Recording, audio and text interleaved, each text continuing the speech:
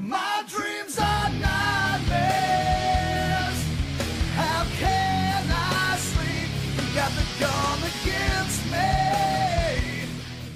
What's going on everybody? King of Dragons 5000 here coming at you with another episode of It Came From Amazon. Here we do have another package, well two packages from Amazon. Really excited I got these guys both in on the same day. I would have been really upset if I got one on one day and then got one on another day. But really glad that both of them did come in. And because they are from different sellers, they did come in a separate in two separate boxes. But that's perfectly okay with me because I finally have these two figures in hand. So what do we have in ha hand? Well, there's only one way to find out, and that's to open the boxes.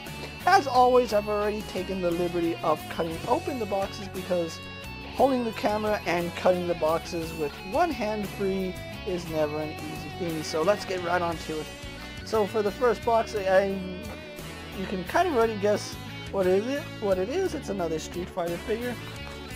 We do have Violent Ken, and you can't really see him because he is covered in tissue paper.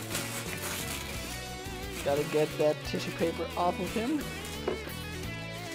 Well, I do that off camera really fast. Here we do have Violent Ken. And I'm really having a hard time holding this box. Really, really excited I have Violent Ken. And to be honest, he looks just like the other Ken. I think only the eyes and maybe he might have a lower saturation than the regular Ken, but I'm really excited I have him.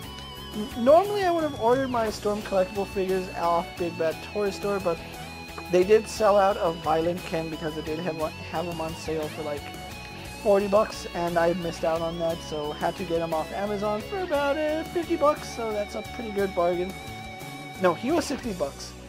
Violent Ken here was 60 bucks so that's actually a really good price for a Storm collectible figure so Continuing on with the theme here, I'm pretty sure you can figure out what's in package number two. If we have Violent Ken, we can only have the evil counterpart of Ryu. Here we do have Evil Ryu in the packaging, and really happy that I got him as well. Now, I would have ordered him off Big Bad Toy Store as well, but I did find him on Amazon for 50 bucks. So I got Violent Ken for 60 and I got Evil Ryu for 50 and that was a pretty good bargain. Can't really complain about the price here. We do have Storm Collectibles. Street Ultra Street uh, let me rephrase that.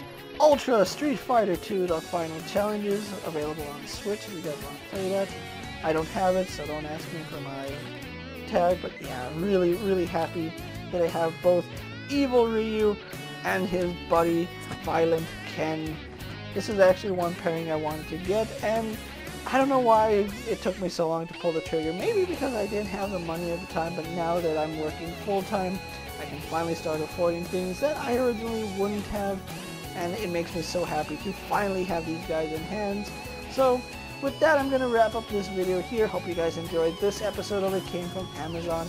Don't forget to like this video, subscribe to my channel, go ahead and check out all my other It Came From Amazon unboxing videos, or maybe just my unboxing videos in general. Maybe you'll find something you'll like. As always, if there's a figure you would like to see me review, or maybe a figure you would like to see me unbox, or maybe order, let me know down in the comments below. And as always, check out my Instagram account for new and exciting action figure photos. And as always, ring that bell to be notified every time I upload a video. Until next time, guys, I'll see you later. Take care, everyone.